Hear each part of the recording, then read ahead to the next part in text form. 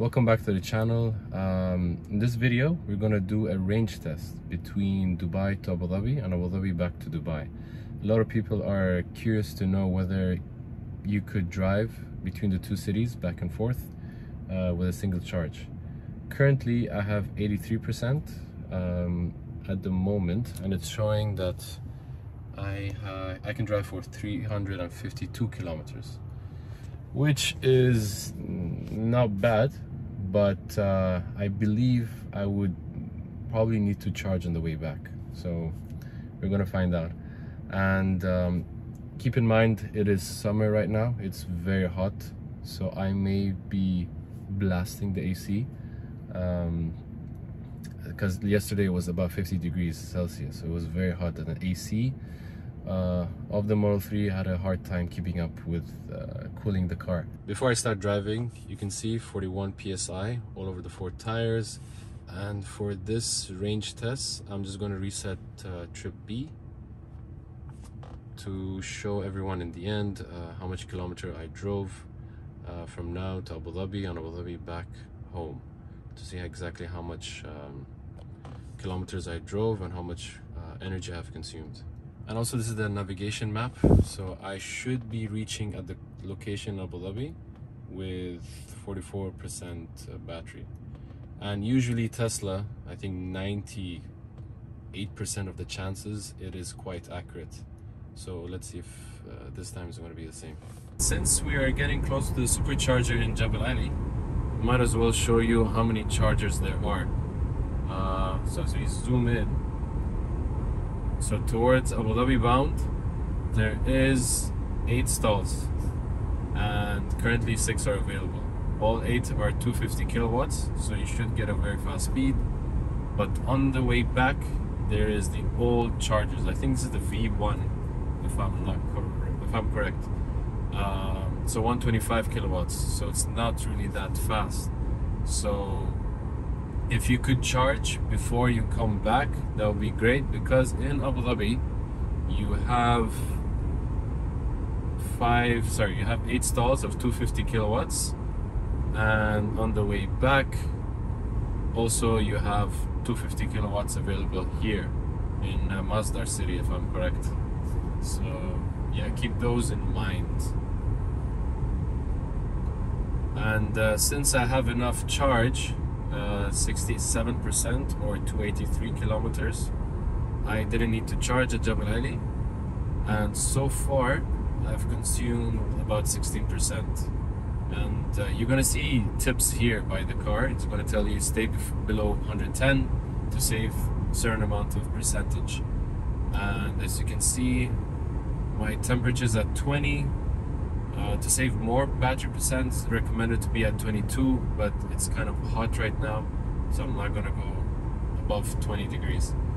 Uh, so yeah, as you can see so far, climate 0.8, elevation 0, everything else 0.3. So I finally reached Abu Dhabi, uh, but unfortunately, and when I was coming through Yas Island, I missed the exit, so I had to take a longer route to reach uh, my destination in Abu Dhabi. But let's quickly review consumption. All right, let's review the trip from Dubai to Abu Dhabi. So I am close to Galleria Mall and let's see the energy consumption consumed about almost 50%, 48.3 to be exact. And if I wanted to save 8.6%, I had to stay below 110 kilometers. Um, 43.8 is the driving, climate 3.2, air conditioning. I kept it at 20 degrees and probably 4 5 speed, uh, fan speed uh, throughout the journey. Realistically, I don't think anyone's going to drive 110 or below unless they really have to consume less battery. Maybe they're low on battery. They need to drive as economical as possible. But realistically, I don't think there's anyone out there driving from Dubai to Abu Dhabi in a very slow speed. Maybe 130 or as close to 140 as possible, or whatever the speed limit is on the road they're driving. Charger in Galleria Mall is actually packed right now, so I decided to look go to Masdar city that's probably the closest uh, and it's also on the way back so I'm gonna end up having 17% once I reach there and um, since it's a 250 kilowatt I'm expecting to get somewhere between uh, 150 to hopefully 250 depending on how how many stalls are being used um, and expected to spend there between 25 to 30 minutes to get somewhere between 80% to 90%. Uh, I think that's the city center over here. There is six stalls empty and two in the parking lot over there. But I prefer going under the shade, so I'm gonna go in the mall. Now I have 14%. Wow. I just got to the uh, Masdar City Supercharger in the uh, city center mall. Uh, currently, I have 13%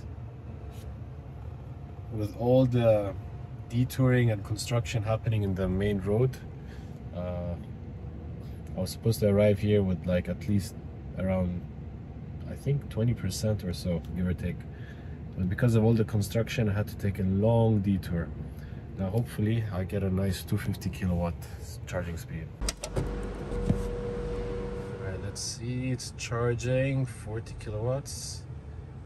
80 139 180 nice. 218 233 amazing 234 which is great 35 minutes more than enough now we have two other Teslas coming in so I think the charging speeds are gonna drop a bit and now since there's another car parking next to me I think our power grid is going to be shared and I may not get 200 kilowatts.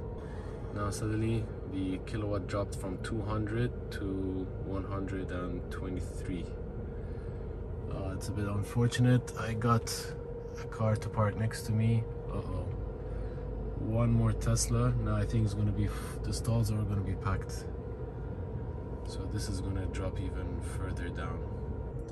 So how much kilometer I have driven since I left to Dubai, went to Abu Dhabi near Galleria Mall, and on the way back with all the what's called all the construction and diversion, I had to take a long way, do a U-turn, and back to uh, back to Masdar City Supercharger, and that all was 206 kilometers, which is not a lot.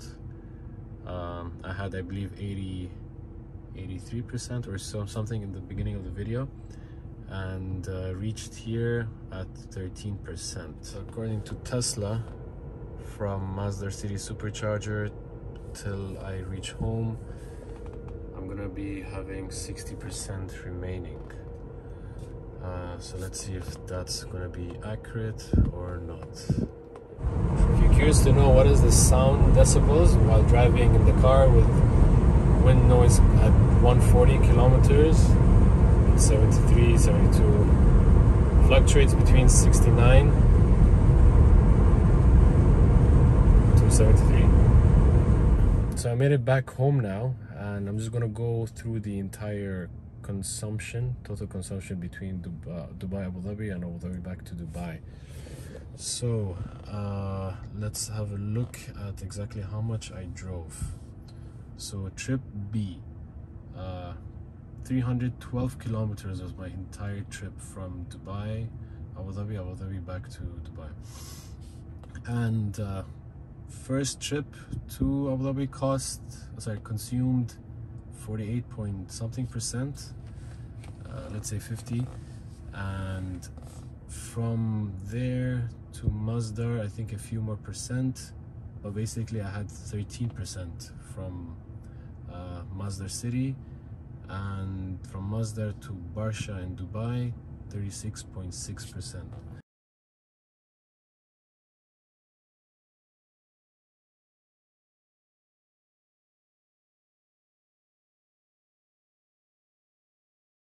Um, but yeah, it seems like maybe it's because of the heat. Consumption is slightly higher i'm not sure. I was expecting to be able to be able to not make it back with one trip. Depends if I went with 100%, maybe I would have gotten back all the way to Dubai, but I had to most likely stop at one of the superchargers in uh, Jebel Ali, the uh, Dubai bound. So, yeah, it's. Uh, I think for a person who does a lot of long journeys between Dubai and Abu Dhabi, and time is very very important to them, maybe this car is not the right one for them. Um, obviously, best thing to do is rent a car, um, experience electric vehicle, and test the range.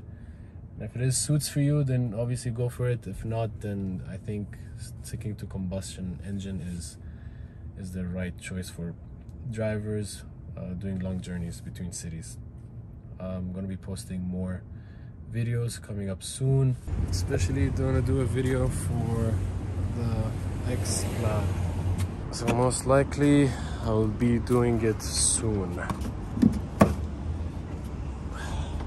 So yeah, like, subscribe and follow. See you in the next one.